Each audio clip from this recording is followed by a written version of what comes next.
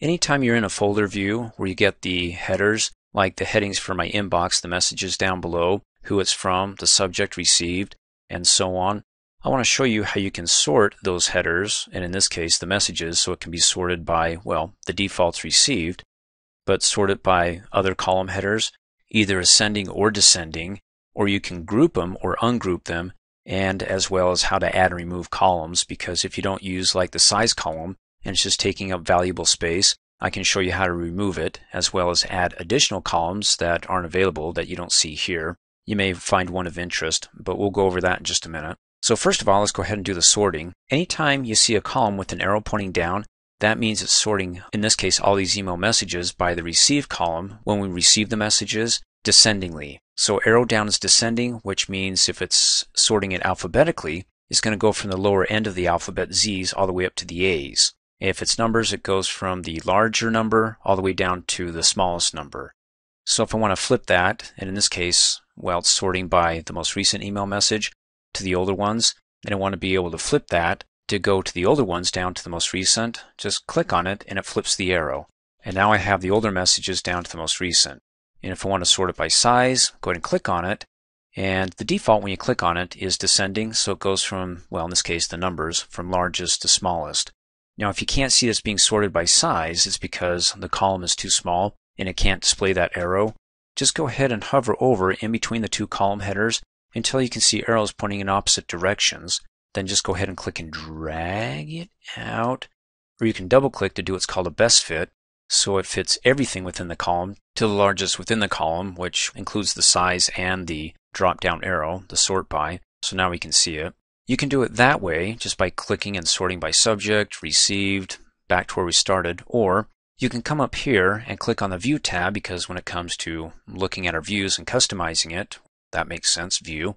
And you can come to the arrangement group and you get the option to reverse the sort, but there's no sense in telling you that because you already know how to do it just by clicking on that column header again. But if you don't have the column headers and the options available, well, go ahead and reverse it and it flips it, reverse it back, and we're back to where we started. You can also click on the arrange by, click on the drop down arrow. Right now it's by date, which is received. I can do it by subject, and you can see the arrows pointing up, so it's ascending, the A's all the way down to, well, the RE's don't count. It looks at the subject, not at the reply here, and down to, well, S, then T's.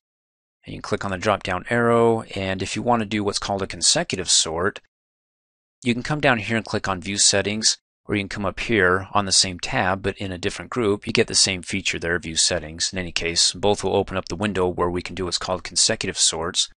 So in other words, if I want to be able to sort more than one column at the same time, I can't do it by clicking on one because it updates to the other. So to do two or more, then either, like I said, click on the arrange, go down to view settings, or just come over here. Let me click off and click on view settings. And in the advanced view setting window, you can click on, there you go, sort. And you can see it's set up to the date or the receive column descendingly. Click on it and you can flip it here, go ascending, but hey, you can just go ahead and click on the column header and it does ascending. So after you sort it by that, you can then sort it by another column. What I'm going to do here is change that and say I want to be able to sort by scroll down and obviously there's more items to sort than what I see within the window. So I just need to find out the one that I have in the window that I want to sort by, and it was by subject. So that's ascending. So it's going to take my conversation that had all those highs in it, and when it sorts them, all the H's will be together, you know, the high conversation. And then after it sorts them and it's got all those together or grouped together because of the sort, then I can say once it's sorted together, let's go ahead and do it by received. And let's do descending. So that way, in that conversation, I'll have it going from the most recent message in the conversation to the oldest. So let's go ahead and click OK, click OK. And now I got two arrows, one for the subject, one for the received. But it's first going to sort by subject, and so it groups all the H's together. And within that group, then it's going to sort by when it's received, and it's going to be descending. So you got the arrow pointing down as opposed to the arrow pointing up, ascendingly, you know, A's Z's. Well, now within this group right here, after it sorts it and groups it together, it comes over here and it says, okay, with this conversation or those emails that have the same subject, then you can see that there's the most recent 252, and then it goes down to older ones or messages that I received earlier, and this is the latest here. And then to go ahead and reset this and clear this out, well, you can just go ahead and click on one, and it clears out the consecutive sorts or additional sorts. So we're now just back to one. And then next, how about grouping? Because by default, it's going to be grouped. Let me show you. You can come up here, click on Arrange By, and go down to Show in Groups. When I select that, it groups them by today, Thursday, Wednesday, the days of the week until it gets to whatever happened last week, and then anything older than that, whatever happened last month, and so on. So if I want to go ahead and ungroup that, these groups are kind of fun because you can collapse it and say, well, I want last week in there, but I don't want to see it. And then you can go ahead and expand it. So to go ahead and clear it, come up here, click on Arrange By, and just uncheck Show in Groups. Now, you can find a shortcut if you're not on the View tab to be able to get up the view settings. Like if you're on the Home tab and you're like, I don't want to come up here, you don't have to. If you want to go ahead and right click anywhere on one of the column headers, right click on it, and you get your Arrange By to sort it. You can also reverse the sort, remove the column, which we'll go over in just a minute.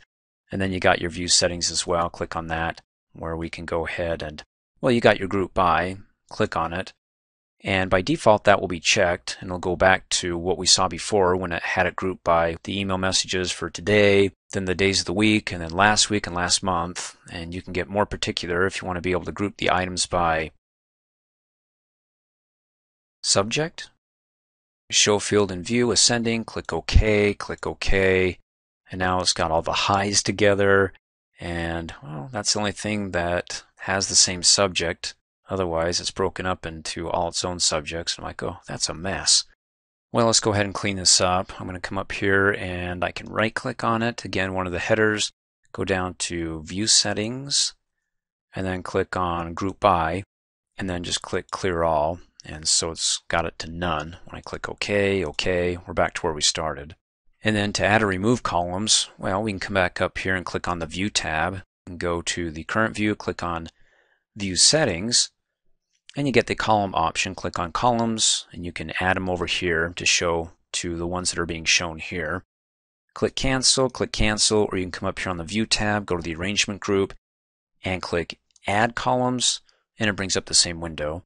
So you've got a list of the most frequently used fields down below. Choose what you want, go ahead and add it over to the right.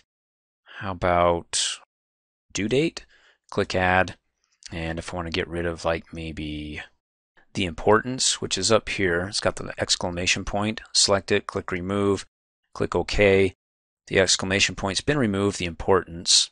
And then the due date over here, well, you can barely see it. It's squished up, but you can hover in between the two column headers and click and drag to give it more room or shrink it up just a little bit. You can also just click on the column header and drag it down. When you see the X, let go, and it gets rid of it. And then if you made a bunch of changes and you're like, oh, I'd rather reset the whole entire view, well, up here on the View tab in the current view, click on Reset View. Are you sure you want to reset this to its original settings? Yes. And okay, it resets everything. So now I have the reading pane turned on, so I can click on the reading pane, turn it off, and then click on Arrange, and don't show it in groups. A couple extra clicks, and I'm back to where we started. Of course, by the same token, not only can you click and drag them off, but you can also click and drag them around and put it in between to rearrange the order. But you could have done that when you clicked on Add Columns. And uh, it's kind of ghosting out a little bit and getting some residual effects. So Categories is right there, and I can go ahead and move it down back to where it was and click OK, and it moves back. Thanks for watching. Hey, as a quick reminder, if you like my video, please give it a thumbs up. You can also click on me and subscribe to my channel to get notified of the latest videos. And for great specials on my products, please see the description below this video.